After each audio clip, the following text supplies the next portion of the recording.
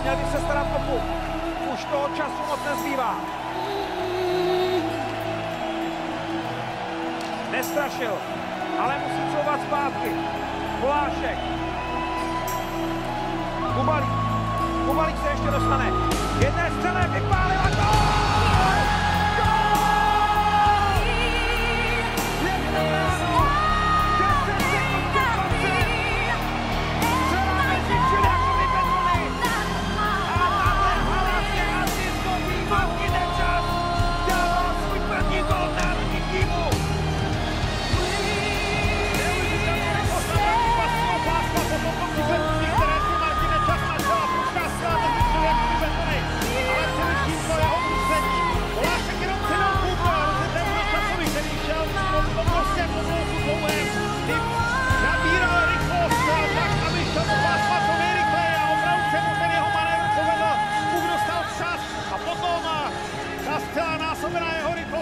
Prošla Čilekovi mezi betony.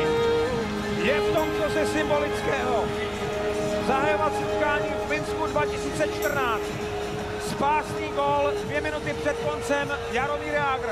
Dnes první utkání mistrovství světa 2018 v Kodani. A záchranou akci dohrál Martin Nečas svým prvním gólem v národním týmu.